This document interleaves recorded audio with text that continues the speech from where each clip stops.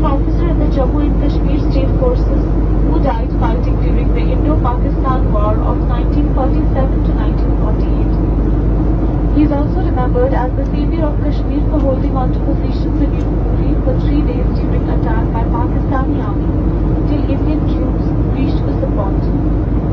With respect, we remember his significant contribution on the occasion of Azadi